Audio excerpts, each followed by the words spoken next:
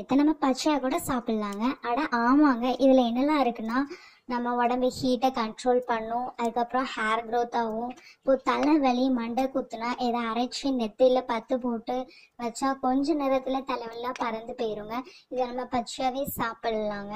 அவ்வளோ மருத்துவ குணங்கள் இருக்குது இந்த வெங்காயத்தில்.